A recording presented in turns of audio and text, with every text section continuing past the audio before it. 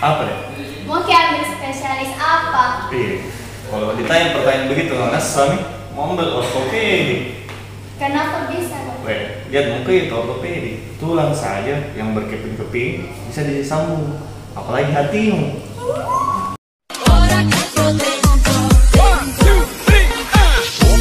One.